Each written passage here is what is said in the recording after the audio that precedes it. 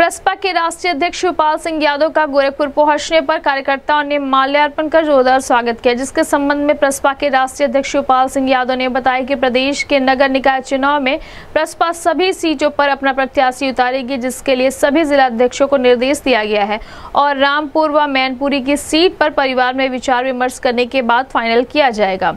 उन्होंने कहा, अभी भी सपा ने अपने प्रत्याशी को घोषणा नहीं किया है, आगे जो पार्टी के सदस्य तय करेंगे, उसके आगे निर्णय लिया जाएगा। इस अवसर पर प्रसपा के जिला अध्यक्ष श्याम नारायण यादव सहित अन्य लोग मौजूद रहे। इस संबंध में गोरखपुर न्यूज़ से बात करते हुए प्रसपा के राष्ट्रीय अध्यक्ष शिवपाल सिंह यादव ने कहा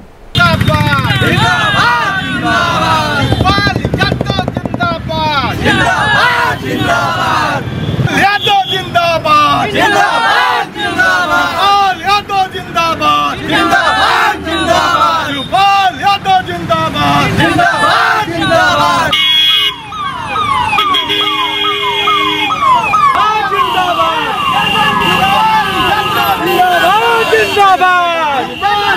चाचा उतरेंगे चाचा भैया दो मिनट दो मिनट दो मिनट दो मिनट यादव जिंदाबाद। यादव जिंदाबाद। शिवपाल यादव जिंदाबाद। शिवपाल यादव जिंदाबाद शिवपाल यादव जिंदाबाद जिंदाबाद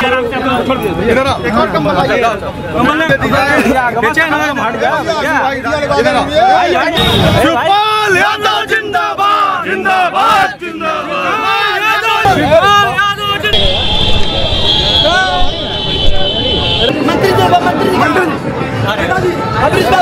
चले वो चलिए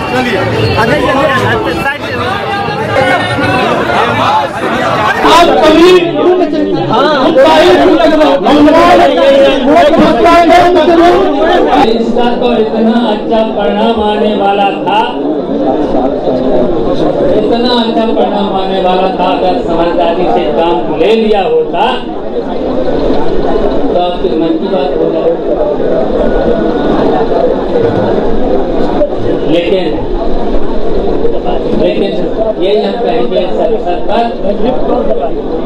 नेताओं को, बड़े नेताओं को, जिनके हाथ में आज आप सब लोगों ने बात तोड़ दी है, उन्हें समझदारी से।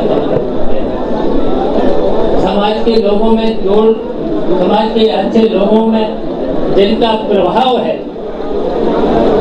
मदद करते हैं जनता। जनता में पॉपुलर है संघर्ष करते हैं संघर्ष करने वालों को अलग नहीं मजबूर करना चाहिए मजबूर नहीं करना तो इसलिए हमने सब सब पर यही करेंगे। आपने जो नारे दिए हैं, जो बात आप लोगों के दिमाग में है, हमने तो कई मौके दिए। कई मौके दिए। लेकिन उन मौकों पर सफलता क्यों नहीं मिली है क्यों नहीं मिली चले हमारे आपके प्रति कितनी वफादार देखिए हमारे साथ जितने भी लोग हैं वफादार लोग। नहीं राज क्या है कि वो आपको छोड़ के कहीं जाने? हमारे बनाना चाहिए हमारे साथ ही रहेंगे वो। वफादार हैं बहादुर हैं कर्मठ हैं?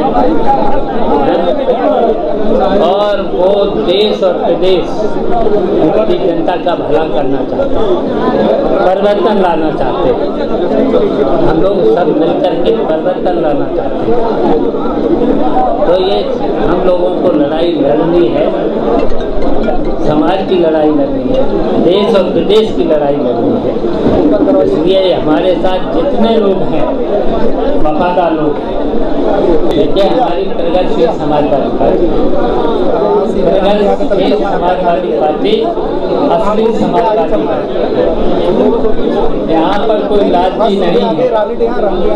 और कोई लालच दे अगर देता है तो लालच में आने वाले लोग नहीं जो भी होगा आपके सामने आएगा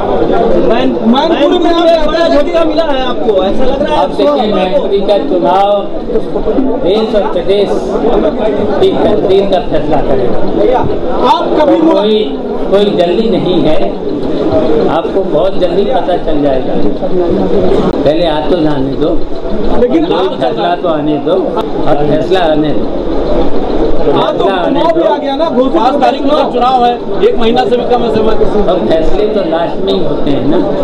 तो आप सपा का इंतज़ार कर रहे हैं कि वो पहले करे तब आप आगे बढ़ते बोलेंगे? देखिए हमारी पार्टी भी तो हम अपनी पार्टी का हाँ? हमारे पार्टी में देखिए सभी पदाधिकारी भी है सेंट्रल पार्लियामेंट बोर्ड है। गोरखपुर से कोई बड़ा ऐलान करेंगे? लेते हैं हमारी पार्टी का तो नाम लेते हैं। अभी हमारी हैसियत नहीं है कोई बड़ा घोषणा करने की और दूसरा घोषणा हम नहीं कर सकते। शिवपाल जी अगर भाजपा वाली जब आपको हम सपोर्ट करती लोग है लोग सरकार बना लें हैं तब बुला लेना तब बड़ी घोषणा कर सपोर्ट करती है वहाँ पे आपको तो लड़ेंगे।